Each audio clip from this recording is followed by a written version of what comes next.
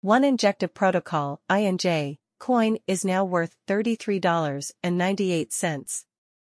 It's gone up 7% in the past 24 hours. The price of INJ ended higher than it started the day 49.92% of the time. One INJ has ever been sold for as much as $49.28 in our base. That was 21 days ago, and the price is now 31.05% lower than that high point. Out of 17 technical indicators, 3 say to buy and 10 say to sell. Based on technical price analysis, the short-term prediction mood is bearish.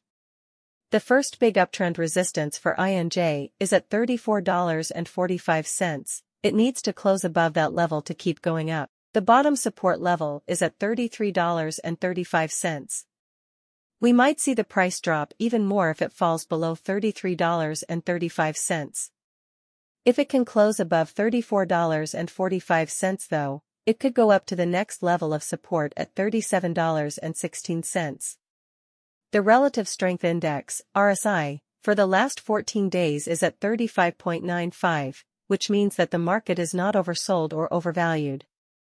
The RSI is at 70.03 on the weekly chart, which means that the price has been bought too much.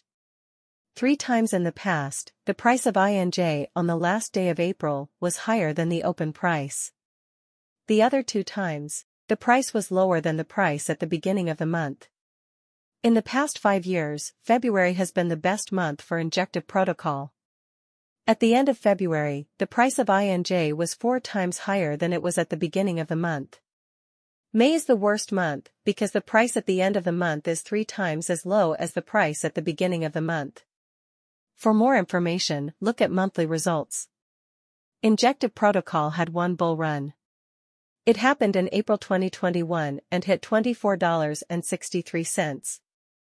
It's been 1,070 days since then. Our estimate for the price of injective protocol is that it could reach $0.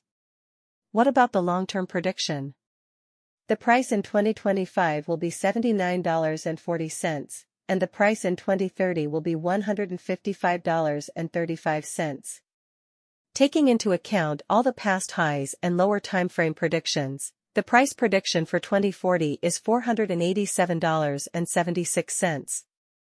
I think the price of injective protocol will be $79.40 in 2025. That is the highest price we think INJ will go to, and the lowest price we think it will go to is $58.52. The next few days will have INJ.